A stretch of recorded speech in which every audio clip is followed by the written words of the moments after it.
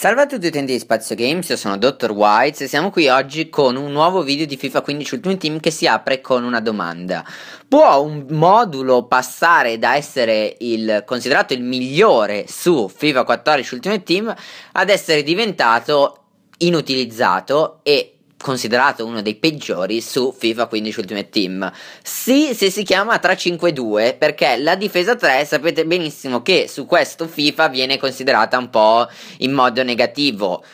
Perché? Perché è difficile difendere su questo FIFA, possiamo dirci quello che vogliamo, ma in un gioco in che premia molto l'attacco, la velocità eh, comunque i moduli, magari tipo il 4-3-3, avere un 3-5-2 è difficile perché vuol dire che in fase difensiva rischiamo di essere sempre in uno contro uno contro eh, gli attaccanti avversari e capite che eh, in un gioco, come ho detto, che premia molto il dribbling, l'agilità, eccetera, eccetera, vuol dire fare partite e subire tanti tanti gol.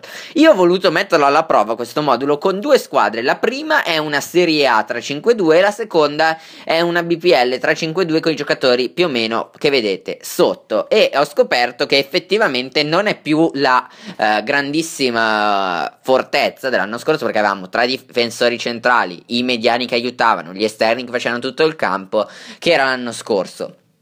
Questo però non vuol dire che è un modulo scarso, anzi, eh, molte partite le ho vinte, anzi, più della metà delle partite le ho vinte, quindi secondo me non è così scarso come molti vogliono farci credere. Però c'è un grossissimo però, mentre scorrono intanto eh, le immagini delle partite che ho fatto, dei gol che ho realizzato con entrambe le squadre. C'è un grossissimo però, dicevo, e il però eh, dipende molto dai giocatori che andiamo a schierare, quindi dobbiamo dire addio eh, hai le squadre con magari esterni molto offensivi prima di tutto. Quindi io mi ricordo che l'anno scorso molti utilizzavano Robben, Ronaldo come esterno sinistro, esterno destro. Quest'anno dovete assolutamente dimenticarvelo.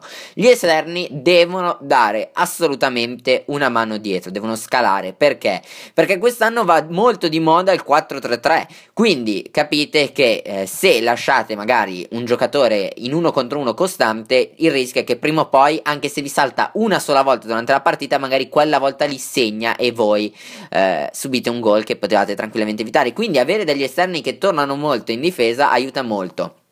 Questo non vuol dire che però devono essere esterni con medio-alto eh, di workers, quindi che stanno solo in difesa, perché comunque devono dare una mano in attacco. Quindi una combinazione secondo me perfetta può essere Asamoah quadrado per una Serie A, quindi abbiamo un Asamoah che dà una mano dietro e non disdegna comunque di salire ogni tanto, è un quadrado che spinge molto in attacco, ma una mano dietro non disdegna di darla, quindi comunque fanno tutte e due le fasi abbastanza bene.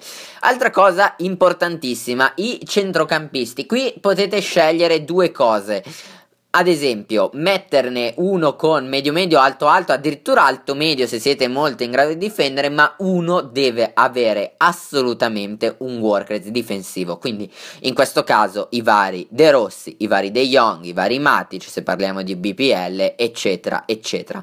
Perché? Perché deve fare da praticamente difensore aggiunto, quindi a volte capita che De Rossi scala eh, indietro, Bocchetti può permettersi magari di uscire sugli esterni quando Quadrado è leggermente in ritardo però non rimanete in inferiorità numerica dietro. Eh, perché dico che però ce ne vuole uno leggermente più offensivo? Perché deve dare una mano in attacco. Perché cosa do- non dobbiamo fare in, con questo modulo? Mettere troppi giocatori difensivi. Se io mettevo degli esterni difensivi e in più magari mettevo un De Rossi e un De Jong davanti alla difesa, ottenevo magari un fortino perfetto, però in attacco lasciava alquanto a desiderare la eh, squadra. Questo vale anche per la BPL. Quindi non mettete un Matic e un Fernandinho davanti alla difesa. Mettete magari magari un Matic un Sissoko, un Matic un Ramirez, eccetera, eccetera. Per quanto riguarda l'attacco, molto molto molto molto simile eh, all'anno scorso, se non eh, uguale. L'unica differenza fondamentale qual è? È che l'anno scorso i colpi di testa erano molto più efficaci, quindi quest'anno possiamo anche decidere di fare un tridente più basso che gioca palla terra che punta alla velocità. In questo caso nella Serie A avevo fatto Pogba che trequartista è incredibile. Tevez e Paloschi che volevo recensirlo, ma se non volete mettere Paloschi potete mettere tranquillamente i vari Guain i Barbo, Dumbia, sapete che uh, sono giocatori che vanno benissimo in ogni caso. Come giocare quindi in attacco, palla a terra, a mio parere se usate questo modulo e ricordatevi che Pogba ha un ottimo tiro da fuori. Comunque a mio parere il trequartista deve essere un trequartista classico, quindi non fate indietreggiare ad esempio Tevez per metterlo trequartista, a mio parere o mettete un trequartista che ha un ottimo tiro da fuori come Pogba o comunque un trequartista che sa passare e sa dribblare la palla perché molto spesso sarete in inferiorità numerica eh, o comunque anche voi in uno contro uno perché eh, a seconda del modo dell'avversario è importantissimo avere un buon dribbling per saltarlo, creare spazi e poi o tirare da fuori o scaricare eh, o comunque creare qualcosa. I problemi però di questo modulo sono tanti comunque perché noi possiamo decidere sì di sistemarlo bene con i workrate, con le istruzioni eccetera eccetera, ma in difesa soffrite parecchio, quindi è un modulo consigliato per chi sa ben difendere perché nonostante eh, avete tre difensori che sono difensori, quindi che non salgono, quindi non sono come Hummel, Sergio Ramos, David Luiz, soffrite tanto. E io molte partite le ho perse o comunque le vincevo, magari le vinco 5 a 4, 4 a 3, quindi Comunque non è un modulo che vi dà solidità difensiva dietro, quindi se non sapete difendere, non dico alla perfezione, ma comunque già bene, quindi cercate, eh, sapete quando chiudere, quando uscire con i difensori, sapete contenere piuttosto che magari siete in due contro uno, vi mettete in mezzo tra gli attaccanti per non uscire e dargli quindi un vantaggio eccessivo.